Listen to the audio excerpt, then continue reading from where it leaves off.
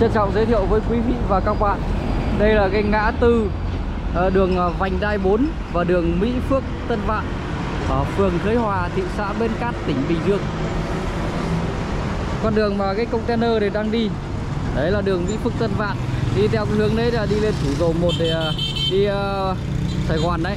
Thế còn cái con đường đi thẳng đây, thẳng tay mình chỉ đây. Đấy, theo cái xe máy kia đi. Đấy là đường Vành Đai 4 Đường đấy mà đi thẳng sang là có thể sang được quốc lộ 14 là đi được Tây Nguyên.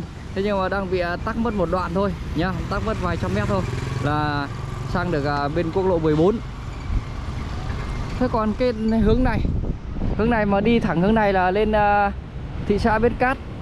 Nếu mà cứ đi thẳng cái đường Mỹ Phước Tân Vạn này Thì là đi tới cổng khu công nghiệp Bầu Bàng à, Huyện Bầu Bàng, thị xã Bến Cát, tỉnh Bình Dương đấy cái con đường vành đai 4 này nó chỉ có mất uh, mấy trăm mét là đường đất thôi. Chứ còn là nhựa hết đấy. Mấy trăm mét là đường đất là sang đến quốc lộ 14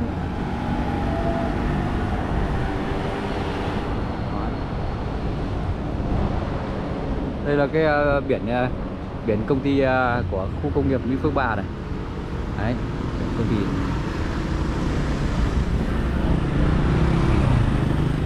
Thôi thế dừng video ở đây để coi như thế là đi đón trẻ. Trân trọng cảm ơn quý vị và các bạn. Này, khu công nghiệp Mỹ Phước 3 này.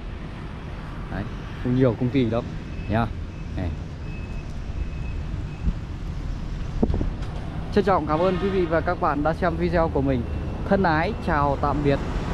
Merci. Merci beaucoup.